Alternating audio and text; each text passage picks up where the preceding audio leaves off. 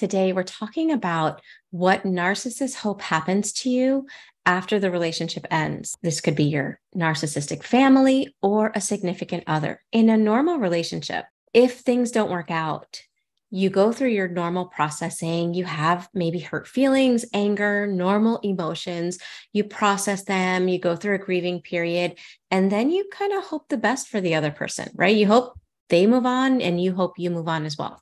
Or you might hope that maybe they wake up, maybe they feel bad, maybe they realize what they did or what they had, and it maybe creates a change in the other person.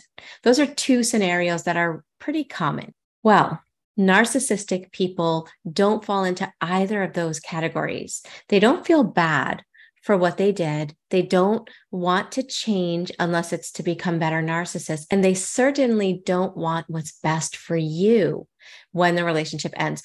That being said, let's dive into this topic. For those that don't know me, my name is Michele. I'm a certified trauma informed recovery coach. I specialize in helping people overcome narcissistic abuse as well as CPTSD recovery. I do this by combining coaching with somatic experiencing. So, what is a narcissist hoping happens to you when the relationship ends? Well, the first thing they're hoping, the first thing that they are hoping is that they did such a good job in destroying the foundation of who you are that you stay stuck. If you destroy the foundation of a building, it crumbles down.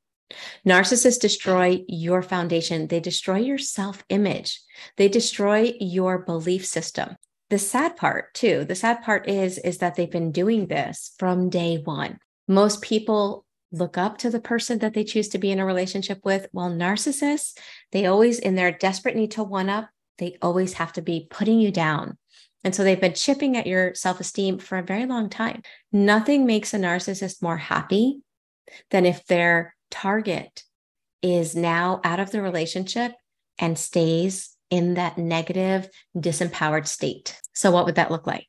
In the relationship with the narcissist, in the beginning, they slowly stole the things that were you, right? They either took them on as their own personality or they stamped them out in you by creating such chaos around the things you loved to do. So, who you were at the end of the relationship is not who you were at the beginning if this is a significant other. I can't tell you how many times people in my coaching practice they'll tell me I'm not the real me. And I'm like, "Well, who is the real you?" And they always say, "Well, I can tell you the who I became and the who I was." Like it's so clear in their mind that there are two different personalities, the one before the narcissist and the one after. Now, if you grew up with narcissistic parents, you don't have that distinction, that before and after. You just have this sense that you've never been allowed to be you. And so when the relationship ends, if you were to start becoming empowered, creating agency in yourself, living in alignment with more empowering beliefs like I am worthy, I am enough, I am lovable, I am amazing, instead of the beliefs that they put in you which were I'm not enough, I'm unworthy, I don't deserve, I'm a failure, all negative things, that's a huge blow to their way of seeing themselves. Because if you thrive, that means that they are powerless over you. And nothing makes them more happy than, sadly, destroying you while they're in the relationship with you and then watching you continue the job of destroying self by staying living in those limiting, disempowered beliefs. They don't want you to move on. They don't want you to get happy. The second thing that they would love is for you to be stuck living the way they live. Malignant narcissists live life through a false core. They are not authentic beings. They are not living from a place of authenticity. They have a false self.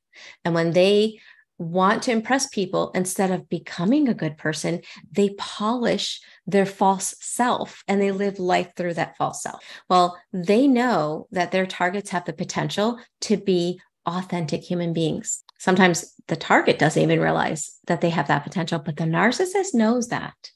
And so there's nothing that they would like more than to make you live in a false self the way they live in a false self. And one of the ways they go about this is by slowly removing your free will, your right to be yourself, your right to have your own feelings, your right to have your own thoughts. And they do this by every time you have your own perspective every time you disagree simply because you're two separate people and you see things differently and they shame you. What happens is your nervous system no longer feels safe being you. You don't feel safe giving your perspective. You don't feel safe showing people who you really are. You just lose touch with that felt sense of inner safety. And as a result, when we don't feel safe inside, when we don't feel safe being ourselves, we stop being ourselves. We stop living in the realm of authenticity and we begin living life as a false self. Now, it's different than a, the narcissist. It's not a mirage to pretend to be something, although, in a way, we are pretending when we are in that false core, but it's a false core that is really what in the CPTSD community we call a protective self. So rather than an authentic self, we are living in a protective self. The narcissist doesn't have an authentic self, they live in a false self. Our protective self is a false self, it's not who we really are. And the protective things that we do when we're stuck in our fight, flight, freeze, or fawn, we think our personality traits. No, they are trauma responses, but they tend to happen over a long period of time. And so we begin identifying with that as that is who we are. Oh, I'm a people pleaser. You may be acting like a people pleaser, but it's coming from a trauma response of not feeling safe being me. I'm going to stop being me to be someone else that makes you happy so I can feel safe. So it all goes back to no longer living in authenticity, but living in a protective self. Narcissists would love to keep you living in a false self, a protective self rather than who you are, because if they can't be authentic, why should you? The third thing they would love for you to do, they would mm. love, love for you to waste time trying to prove to everybody who the real abuser is. You see, because they're an expert manipulator. And so they have way longer than you realize it. They have been laying the foundation for people to believe that you are the problem and they're a victim of you. And so when you finally wake up and either they discard or you leave the toxic relationship, they've already had a long time setting the frame, the groundwork for people to view you as the problem. And now you're going to come and try to prove your truth. They love when you do this because they know that you cannot stand up against them in a manipulation battle. You are a honest person, a real person, and they are an expert manipulator. And so they twist and turn things. And so the reason they would love for you to do this after the relationship is because it continues to distract you from your life. Guess who you're focusing on? Whether it's positive or negative supply to the narcissist, it is still supply when you are focused on them, when your energy is being given out because of them or to them or for them. And so you're not focusing on you, you're focusing on trying to prove to people that don't believe you most of the time, because again, you were set up. And this keeps you from living your life and it further invalidates you, it further gaslights you, it further confuses you and makes you feel isolated and alone. They would love for that to happen. So, what are you supposed to do? Do you play into those three things? Hopefully not. To help you to not fall into any of those three things, here are just a few suggestions. When it comes to what the narcissist did with breaking apart your foundation of who you are, that does not get rebuilt by time. Just like if somebody hits me with their car and breaks my legs, and I don't go to the hospital and I don't get my legs put in casts and I don't get them fixed, with time, I may not feel the same intensity of pain that I felt when I first had the accident, but I won't be able to walk normal either. There will be a definite distinction with how I walked before and after the accident if I don't get healed. Well, it's the same thing with our life. We were, in a way, our soul, right? Our inner self, our authentic self, our self image was all distorted because of the gaslighting and the manipulation. If you just remove the toxic person, which is helpful, right? To not have people in your life that are trying to destroy you. That's helpful. But if that's all you do and you just let time go on, you will always feel that distinction of who you were before the relationship and who you became after.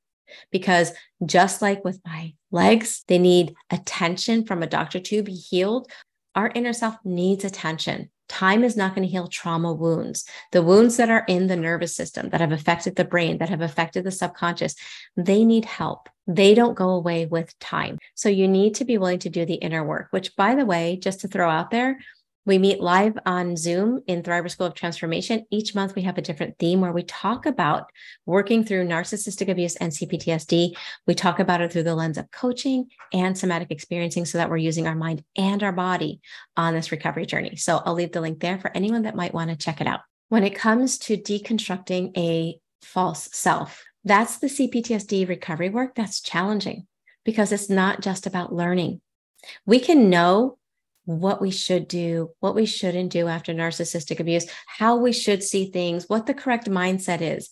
We can have all that logic and yet feel unable to implement it, right? Let me know in the comment section if you've ever learned what you want to do and how you want to do it, and yet you go to do it.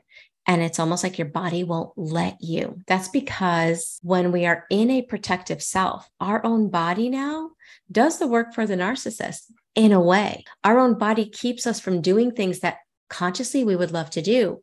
But because they were met with such shame, insults, abandonment from people we expected to love us, our own body starts freaking out when we go to do things that we were formerly shamed and abandoned for. And so it freaks out in the sense that we start getting discomfort in the body.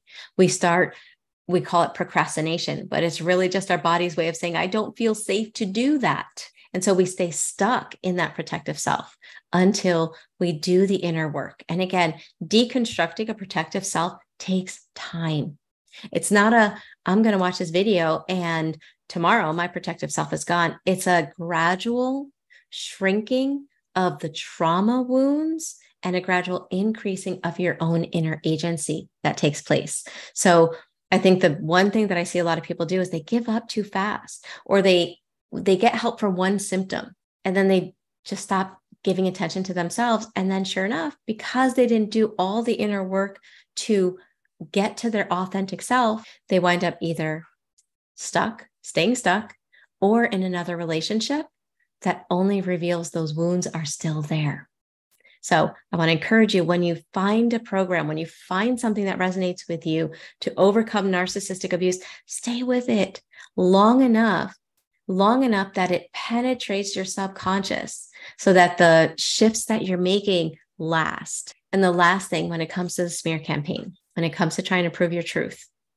the reality, the secret that the narcissist does not want you to realize is that you don't have to prove anything to anyone your belief in you is way more powerful than 50 people believing in you. Because once those 50 people are gone, if your validation is only dependent on how they see you, the second they're gone, you're going to feel that insecurity again.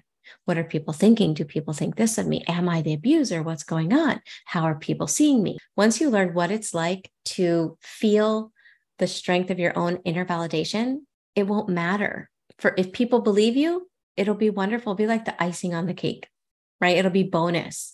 If they don't believe you, it won't touch you because you believe you. So part of the recovery is learning how to trust yourself again. So that's kind of the rewiring parts that we have to do as well with our nervous system and with our belief system. So those are some things to help. In a nutshell, the narcissist wants one thing from you after the discard. They want you to stay stuck. By you getting you back, it's the most empowering thing you can do for yourself.